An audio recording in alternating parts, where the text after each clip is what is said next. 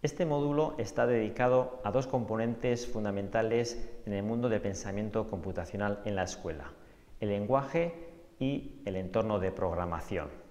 Vamos a describirlos de forma genérica y después vamos a particularizarlos en el lenguaje y entorno de programación Scratch.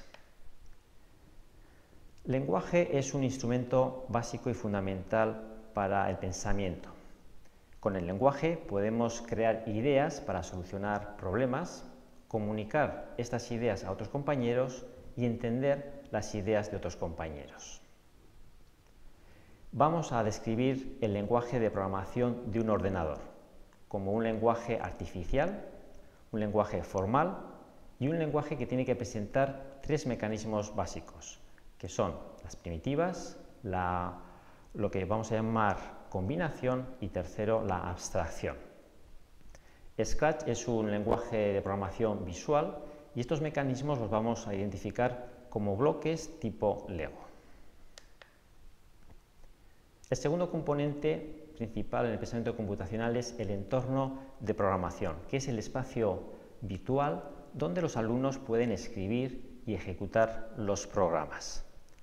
En el caso de Scratch, este entorno es intuitivo y de fácil manejo.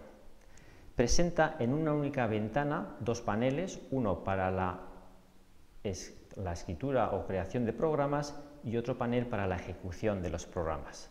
Y se pasa de uno a otro con un simple clic de ratón. En la terminología Scratch llamamos crear un proyecto a escribir un programa.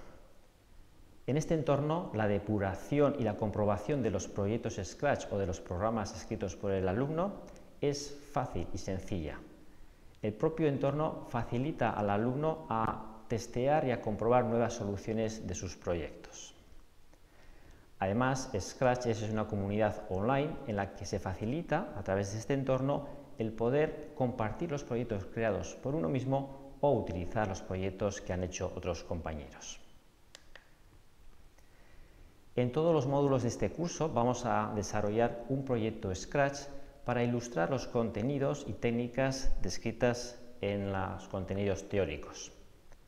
En este módulo vamos a desarrollar un proyecto que consiste en una versión del juego Pong un jugador. En él, una pelota se mueve libremente por el escenario, rebotará cuando toca la paleta que mueve el usuario con el ratón y se detendrá el juego cuando la pelota toque la línea de fondo.